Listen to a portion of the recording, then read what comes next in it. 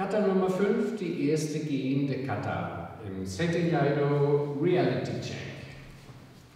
Sie greift mich an oder ich greife sie an, das ist eigentlich relativ egal, weil die Bewegungen identisch sind. Ich mache die Kata, sie tut jetzt mal, machst das Schwert noch ein bisschen, die Zuba muss ja direkt vom Bauchnabel sein. Hm? So, sie kommt jetzt mal nur auf mich zu und ich mache die Kata. Sie greift gar nicht an.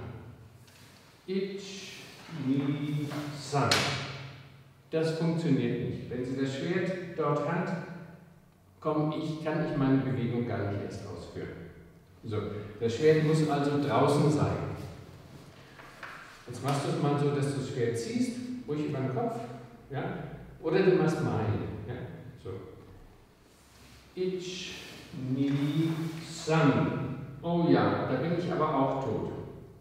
Ja, sie ist nah genug, um mich zu treffen, funktioniert also auch nicht.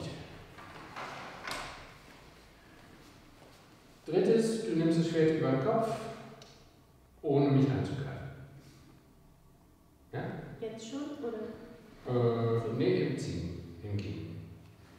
Ich, San. Dann würde ich ihren Arm treffen. Der Punkt ist ja der, mal über den Kopf, Schwert. Hier, eigentlich gehe ich ja nicht in den Arm rein, sondern in die Schulter.